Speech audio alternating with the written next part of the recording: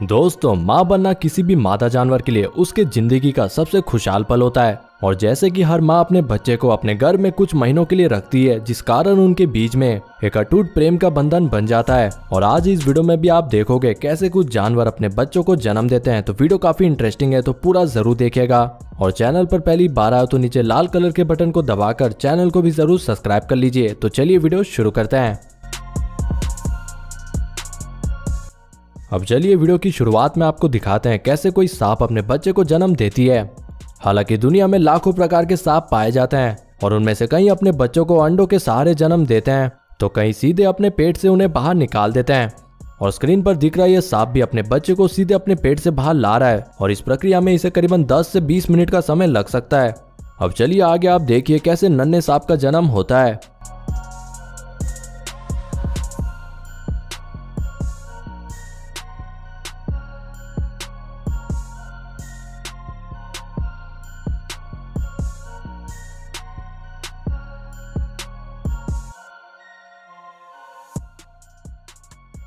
अब यूँ तो बचपन से हमें सिखाया जाता है कि जिराफ एक बहुत ही लंबा जानवर होता है। पर चलिए आज देखते हैं कैसे ये अपने बच्चे को जन्म देती है। और एक बात मैं आपको बता दूँ, जिराफ अपने बच्चे को करीबन 15 महीनों के लिए अपने पेट पर रखती है। और चाहे वो कोई घास वाला मैदान हो या फिर चिड़ियाघर, ये जीव अपने बच्चे को उसी जगह पैदा करेगी जहाँ का सतह थोड़ा नरम हो कि इसके बच्चे को कोई डैमेज ना हो।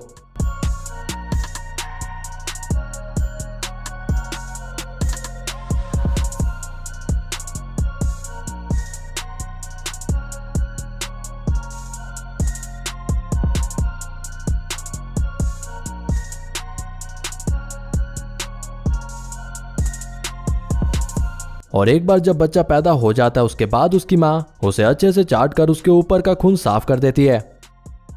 और अभी आप इस प्यारे से बच्चे को देख सकते हो, जो अपने ज़िंदगी के पहले कदम गिन रही है।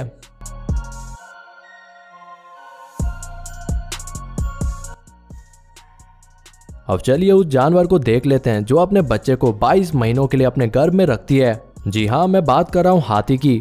और कोई भी मादा हथनी अपने बच्चे को करीबन 18 से 22 महीनों तक अपने गर्भ में रखती है। और यही शायद वो वजह है जिस कारण हाथी का कोई भी ग्रुप अपने बच्चों से कुछ ज़्यादा ही प्यार करता है, खासकर माँ। यह हथनी जैसी अपने बच्चे को पैदा करती है, तभी आप देख सकते हो, बाकी और हाथी आ जाते हैं इसके आसपास। और ये बात दर्शाता है कि हाथियों के झुंड में एक दूसरे के लिए कितना ज़्यादा प्यार होता है।